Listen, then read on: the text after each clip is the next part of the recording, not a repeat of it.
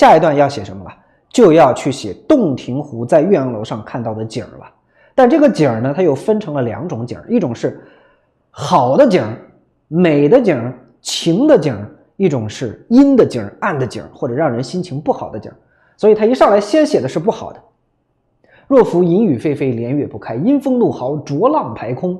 日星隐曜，山岳前行；商旅不行，强倾急摧。薄暮冥冥，虎啸猿啼。所有这一系列的很精彩的四字词，堆砌出一个什么样的感觉？悲景，对不对？这个景是不是很悲伤的景？淫雨霏霏，连月不开。淫雨就是过多的雨水，连绵不断的下，好几个月都不会停。阴风怒号，浊浪排空，天上的星星、月亮都看不见了，隐曜就是隐去了他们的光芒。山岳也都看不见了，在这种大雨大风之中，一切天地一切都是昏暗的，而商旅根本走不了路，在这个洞庭湖上划船的，不管是墙还是桅杆还是船桨，全部都被摧毁掉。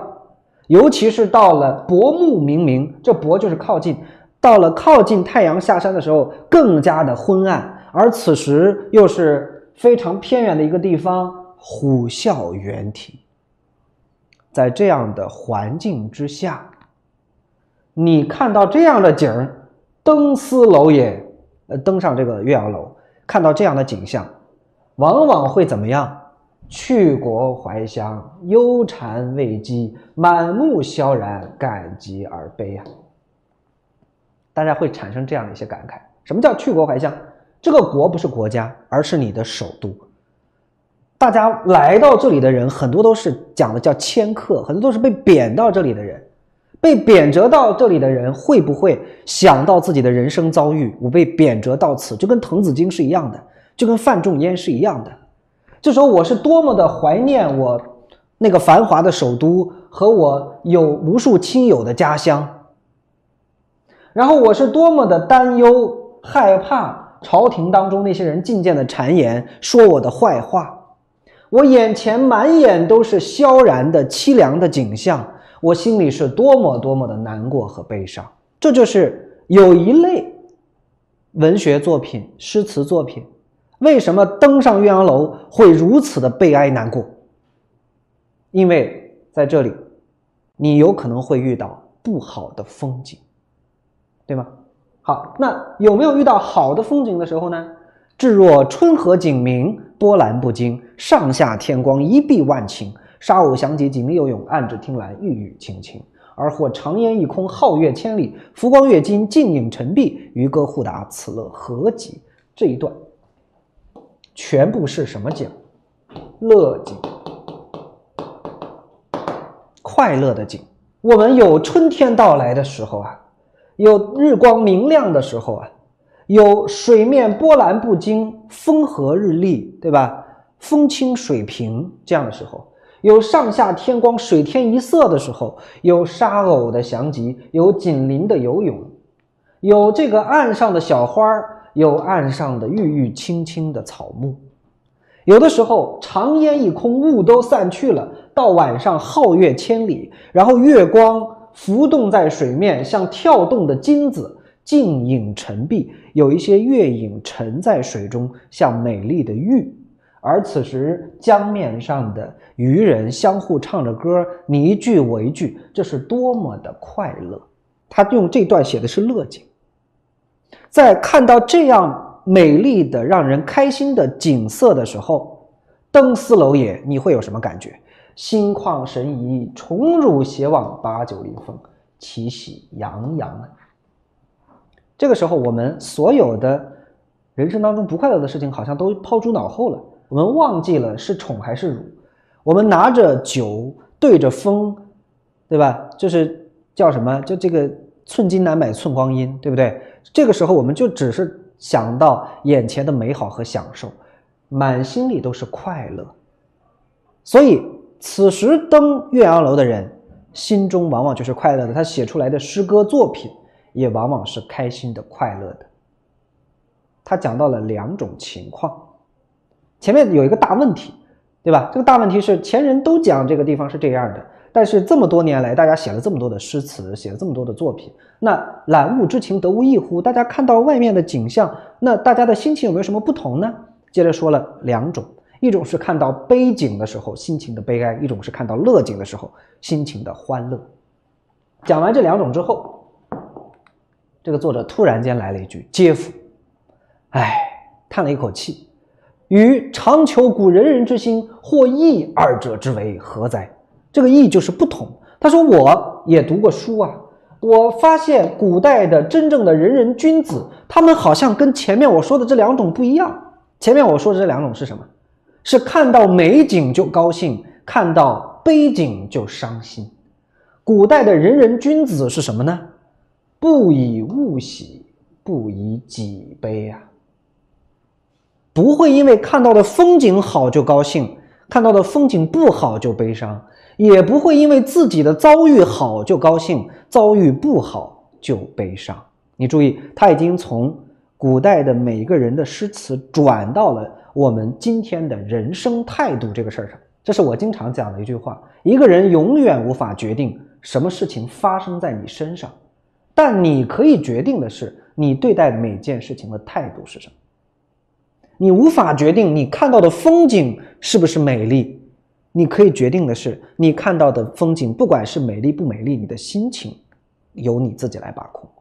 你无法决定会在你身上发生顺利的事儿还是不顺利的事儿，你是会被升官还是会被贬谪。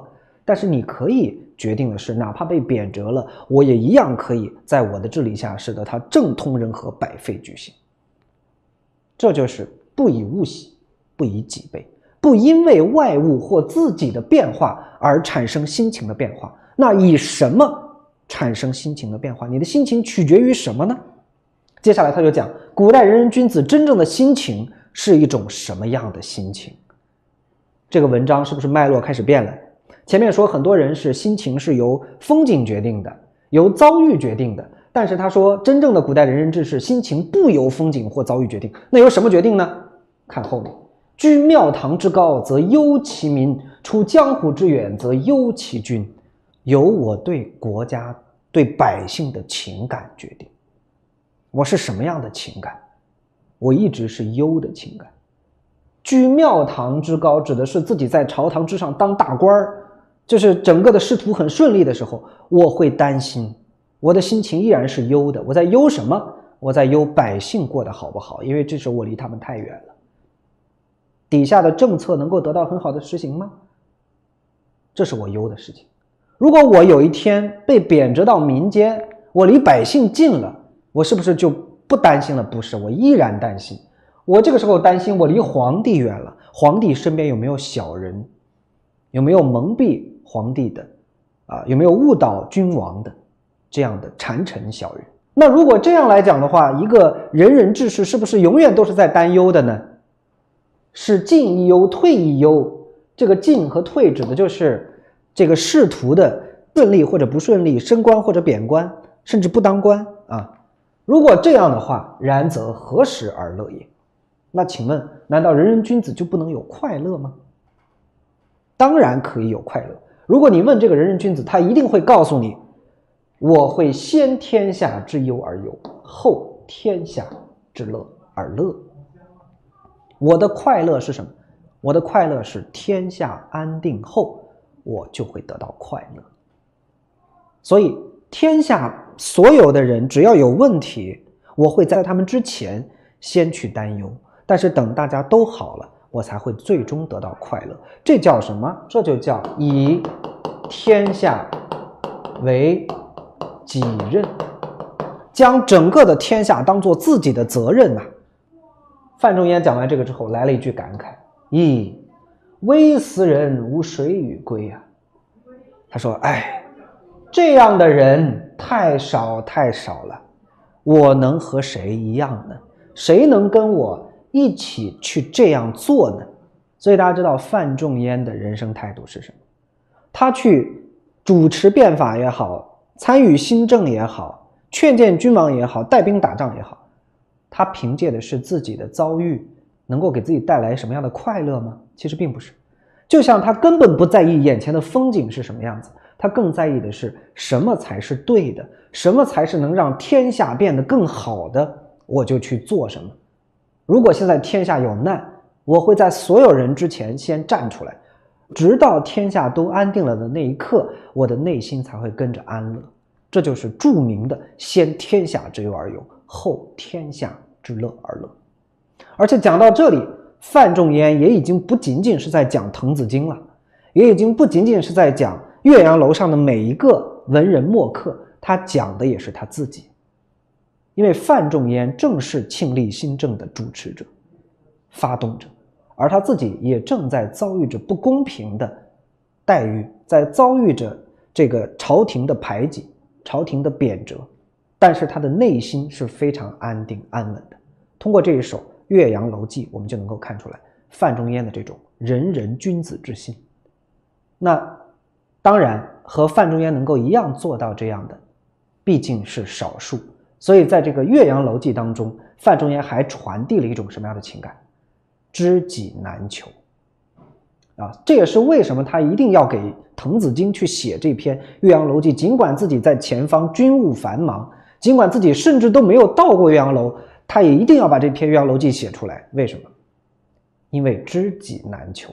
滕子京这样的人，正是和范仲淹一样的，这种人太少太少了。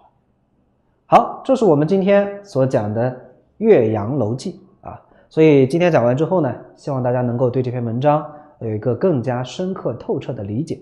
那我们讲完之后，大家也会发现，虽然这篇文章看起来很长，但其实它的结构非常的清晰。第一段总体交代背景，为后面去写文人墨客和政治变迁埋下伏笔。接着转到对岳阳楼和洞庭湖大概的整体介绍，对吧？整体介绍的时候，他把文章的注意力从大家往往写景的时候说什么样什么样，转移到了另外一个话题，就是为什么人们的态度和心情会有所不同。同样一件事情发生，为什么？这个岳阳楼上所提的诗词，却表现了截然不同的态度和心情。接着，他讲到了一般的人会怎么样去表达自己的心情。一般的人是发生什么就会有对应的心情，看到美景心情就高兴，看到悲景心情就难过，得到升官心里就高兴，被贬了官心里就难过。但是最后，范仲淹讲，真正的仁人君子。并不是这样的，他们也不会看到美丽的景色，因为外物的好心情开心，外物的不好心情难过，也不会因为自己好就开心，自己不好就难过。那他们的开心难过取决于什么？取决于天下好还是不好。如果天下不好，我不管在哪里，我都是担心的。我在天子身边担心百姓，我在百姓之中担心君王。如果天下好了，我才有可能安心，才有可能快乐。像这样的人真的是太少太少了。我渴求这样的同伴和我一起走上这样一条道路，啊，所以讲以微斯人，无谁与归。当然，最后这一句时，就是在当时写作的时间，六年九月十五日，庆历六年的九月十五号。好，那我们今天呃《岳阳楼记》就讲到这里。